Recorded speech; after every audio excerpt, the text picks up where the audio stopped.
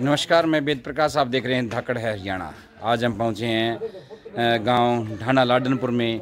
आज ढाना लाडनपुर में जो बौद्ध विहार बनाया गया है उसका वार्षिक उत्सव मनाया जा रहा है। एक साल पहले यहाँ पर महात्मा बुद्ध की प्रतिमा रखी गई थी और बौद्ध विहार का भव्य शुभारंभ हुआ था। आज हम बात करते हैं उसके बौद्ध विहार को बनाने वाले साथी भी यहाँ पहुँचे हैं। प्रीतम जी स्वागत है धाकड़ हरियाणा में। Welcome sir. आज बुद्ध विहार का आप लोगों ने वार्षिक उत्सव मनाया। क्या कहना चाहेंगे? क्या संदेश देना चाहते हैं?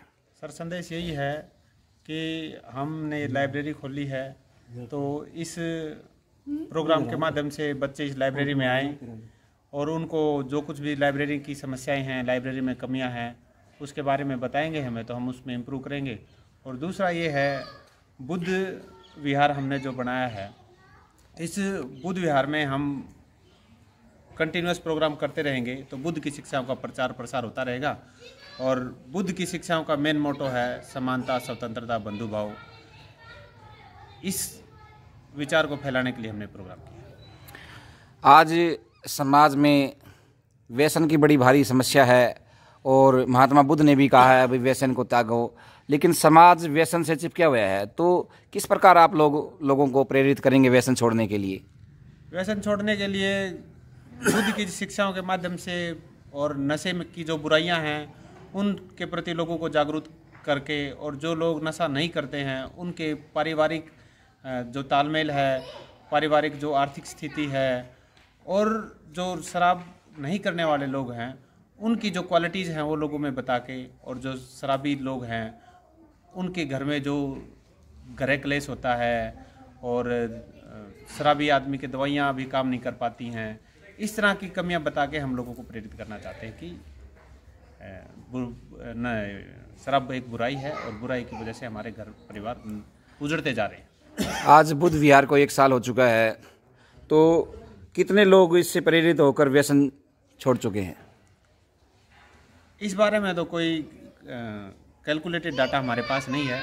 लेकिन बहुत सारे लोग हैं ऐसे जो यहाँ पे आके इस बुराई से परिचित हो पा रहे हैं। लेकिन ये कहना हमारे बस की बात नहीं कि लोगों ने छोड़ दिया। लेकिन प्रेरित हो रहे हैं प्रेरणा मिल रही है।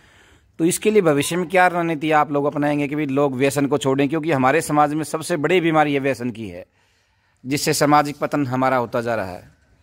देखो इस बुद्ध विहार का जो प्रांगण है यहाँ पे ना तो कोई नशा करने वाला आदमी आता है और ना ही नशा करके आता है। और यही संदेश है कि ये जो प्रांगण है, ये नशा छोड़ने के लिए भी प्रेरित करता है, बुराइयाँ छोड़ने के लिए प्रेरित करता है, ज्ञान प्राप्त करने के लिए प्रेरित करता है।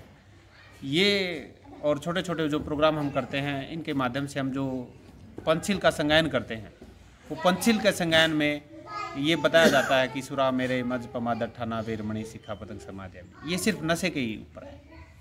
तो हम ऐसे लोगों को प्रेरित करते हैं, जो समझ जाएगा, वो जल्दी छोड़ देगा। जो और बुद्ध भी कहते हैं कि एक बार एक आदमी ने आके बुद्ध को कहा कि जो आप, जो काम कर रहे हो, इसके लोग मानते तो नहीं हैं। तो बुद्ध कहते भी, कोई एक बार कहने से मानेगा, कोई दो बार कहने से मानेगा, कोई तीन बार कहने से मानेगा, कोई बार बार कहने से मानेगा।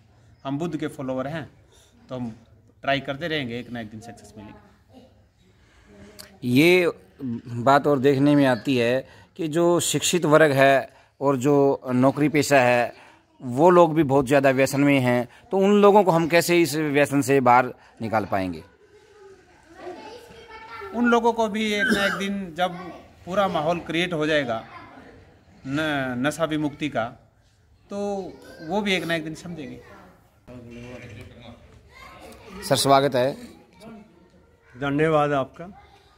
आज आप यहाँ मुख्य अतिथि के तौर पर पहुँचे हैं तो क्या संदेश देना चाहते हैं लोगों को? संदेश तो यही है कि बाबा साहब बुद्ध भगवान के आदे आदेशों का पालन करें और बाबा साहब अंबेडकर की जो संघर्ष किया उनके संघर्ष पर चल करके इस समाज को सुधारने की कोशिश करें और जिससे कि सबसे बड़ी सत्ता की चाबी है सत्ता की चाबी ले और जिससे कि हम हर घर को नौकरी देना चाहते हैं। दाकड़ हरियाणा में स्वागत है सर। थैंक यू सर आज बुद्ध विहार को बने हुए एक साल हो गया है क्या संदेश देना चाहते हैं इस अवसर पर?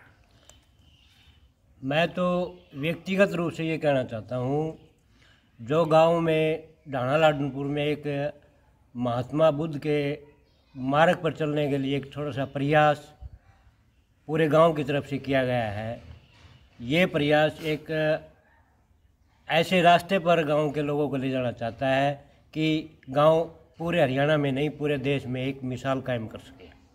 कोई भी गाँव में सामाजिक बुराई ना हो, कोई गाँव में किसी प्रकार की चुगली चाटी ना हो, गाँव में कोई भी आदमी दुखी नहीं हो, यही मेरा कहने का तात्पर्य है कि महात्मा बुद्ध के रास्ते पे चल के और हम सब अपने अपने